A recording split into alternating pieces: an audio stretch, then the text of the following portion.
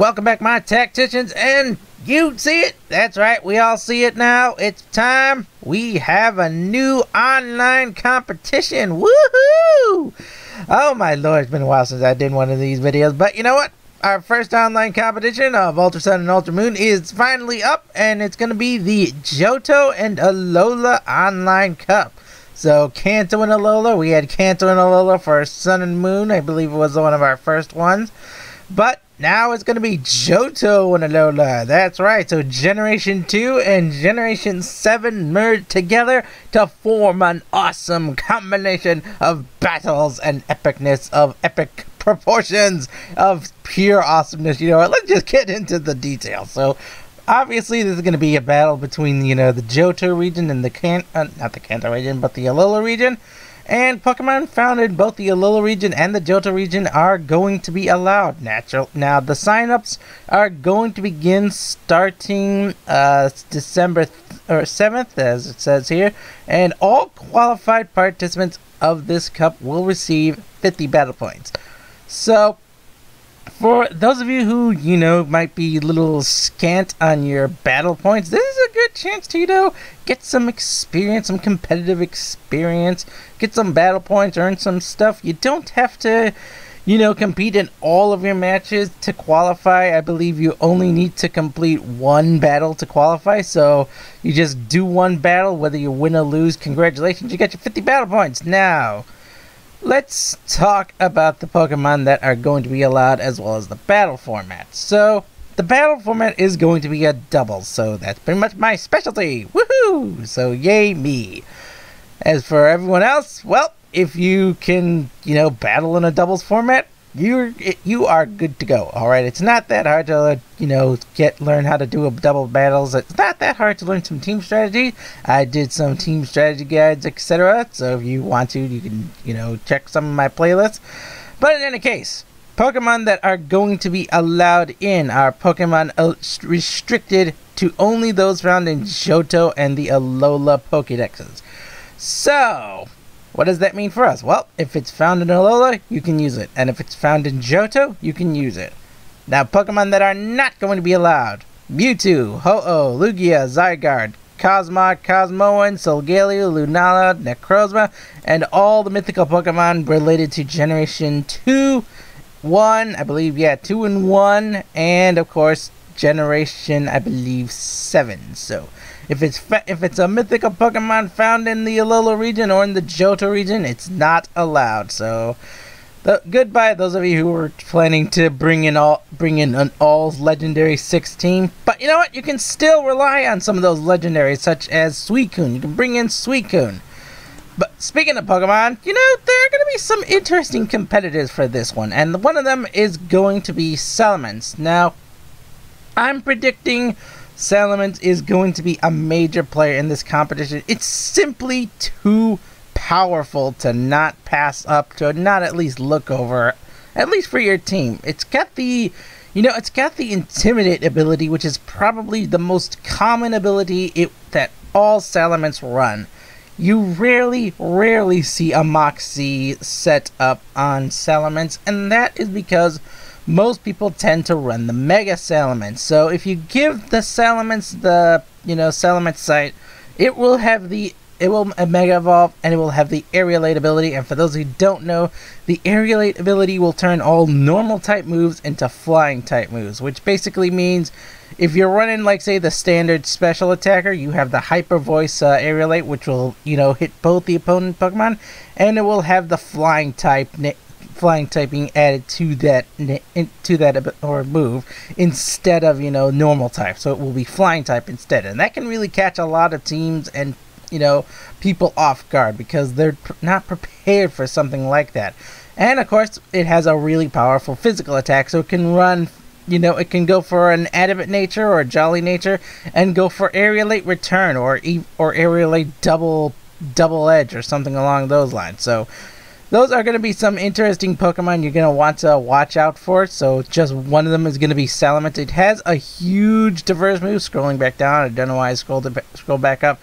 Even just naturally, it has some really, really powerful moves. It has has access to. You know, it has access to the Dragon Claw. It exa- it has access to. I believe it has Cruncher. Yes, it has access to that. It has access to the Zen Headbutt. It has access to Double Edge right there, like I said, or can run the you know the return, as I was saying before. It even access to some elemental moves such as Fire Fang, Thunder Fang. It has a lot of its bases covered.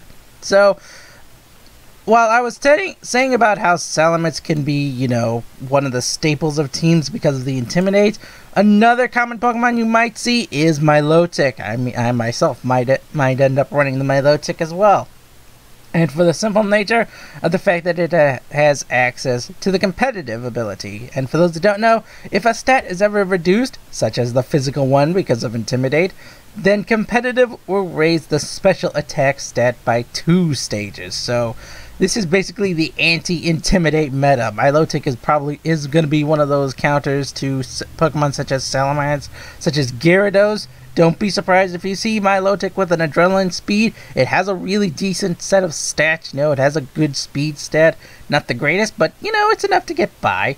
And it has that special attack. A 100 special attack may not, you know, be that impressive to some people, but you put that on top of a competitive ability which is triggered, that plus two special attacks suddenly looks very disgusting. And as far as moves and abilities go, well, there's nothing like a competitive natured Hydro Pump or Ice Beam or Blizzard to just ruin a dragon's day. So it has access to a lot of firepower. It has access to Dragon Pulse. It has access to a lot of things. It even has access to Laser Focus of all things. Oh my lord, Milotic. I'm I'm predicting Milotic to as well be a very dangerous Pokemon. Another one that I'm also predicting is gonna be the Meg is gonna be Meg Meg Mega Metagross. Oh my goodness. For those who don't know, Metagross has access to the to the clear body. For those who also don't know, that means your Pokemon will not have your stat reduced. So this is also another counter to, you know, intimidators. If they try to intimidate you turn one, you can just you can just lead with your Metagross and you know take that intimidate because you're not going to be intimidated and then you can come back with a mega evolved Metagross and just slam them for a meteor mash or a bullet punch whatever you want so that is what you can do that is what you can, you know, work with if you want to go for the Mega Metagross. It can be a really powerful staple. So don't be don't be afraid to look at Metagross for your team. Another one that's going to be very common, if I might say so myself, Clefairy. That's right, Clefairy, people. If you're wondering why, Friend Guard. You know, Eviolite, Friend Guard, Calm Natured, Clefairy, Max Defenses, with the Follow Me and the Friend Guard ability perfect for those who want to, you know, misdirect their opponent, mi- misdirect their opponent into, you know, not dealing damage to the target they want, and basically just being a nuisance on the team and keeping your team alive. Clefairy can do that. For those who don't know, Friend Guard, I believe, reduces, you know, damage done to your to your team by the opponent by about 50%, give or take. I'm not entirely sure right off the top of my head, but it does reduce the damage a lot. So, and it also counts Clefairy as well. So, Eviolite plus that Friend Guard ability makes it very tanky, very difficult to knock out unless you're rocking Steel type moves such as a Me- Mega Metagross with Bullet Punch or Meteor Mash. Just saying. So finally, and the reason why I'm why I'm saying Clefairy can be you know helpful to you, I will do theme teams as well, and you'll find out because Volcarona is allowed in this competition. That's right. I believe you can find Volcarona somewhere in the Alola region. I believe you can find it like on Akala Island. But you can find Volcarona or at least Larvesta. Yeah, I believe you can find Larvesta. And who has not seen a quiver dance set up on the Volcarona? It's one of the most powerful moves for Volcarona, and if it can get that Volcar that move set up safely, if it can, if it's partnered up with the Clefairy, so that then it can get that you know quiver dance set up, and of course if it rocks the Focus Sash, all the better, and Volcarona will be able to sweep from there, deal damage, and just wreck everyone's day. So there you go, people. Just my suggestions, such some of my, you know, my possibilities for what I think will be some of the most common Pokemon that I'll be you you'll see in this competition. As I said before, this competition will begin, or at least uh, the sign up period will begin the seventh of December, and the competition date actually will be Friday, sept- December fifteenth. So expect some expect shenanigans. So be prepared, my tacticians. Get ready because the first online competition is about to begin. I am Imperator Davius, your Fedora wearing Reshiram. I will see you all next time. Bye bye.